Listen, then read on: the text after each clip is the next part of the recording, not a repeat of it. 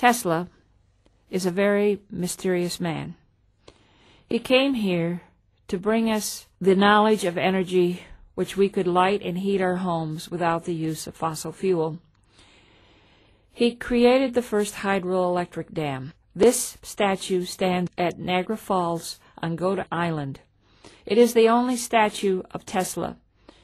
Many people find that he is completely written out of our textbooks, but here is the man who gave us alternating current, and there is not a motor running today without his technology. He had 1,800 patents in the U.S. Patent Office. Strange that we do not know of this man. And what's even stranger is that Edison, because he used to work for Edison, tried suing Tesla because 10 years after he quit, he started reforming some of the patents that Edison had, and he lost the lawsuit because they were originally Tesla's work. J.P. Morgan wanted to destroy Tesla.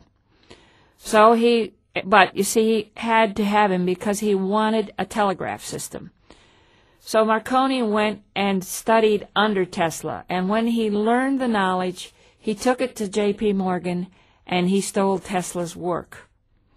Finally, by an act of U.S. Congress, all of Marconi's work was given back to Tesla. If you look at Tesla's tower, it is the same design as the Great Pyramid.